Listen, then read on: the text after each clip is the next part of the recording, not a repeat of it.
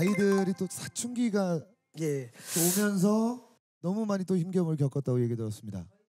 저희 아들 같은 경우는 그나마 저 운동을 하다 보니까 예. 괜찮은데 저희 딸 같은 경우는 초등학교를 갔는데 나보러 학교를 오지 말라는 거예요. 왜요?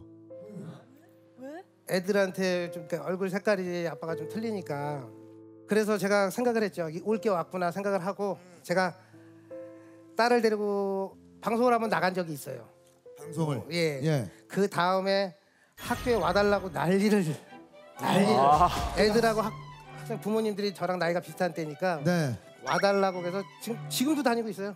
아. 운전하고요. 왜냐면 그 학부모님들이 다 인기 팬. 그렇죠, 네. 그렇죠. 그때 만복 씨를 기억하고 좋아하던 세대니까. 예, 좋아했던 분들이 지금 학부모 똑같은 세대이기 때문에 예 예. 맞네 그 세대니까 다 알 거 아니야.